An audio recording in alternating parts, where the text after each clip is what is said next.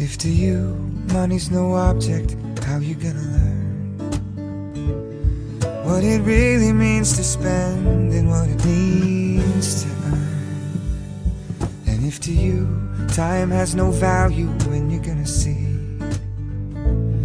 what it really means to work and what it means to work for free. I've been thinking a lot about the things I've got and how I trade them for a shot to change the world. I don't know what life's bringing, but I'll go down swinging. If it's bringing a fight, then fight on. Everybody wants to take chances.